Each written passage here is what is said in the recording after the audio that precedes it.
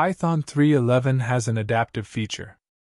It can execute scripts up to three times faster. However, it strongly depends on how it is written.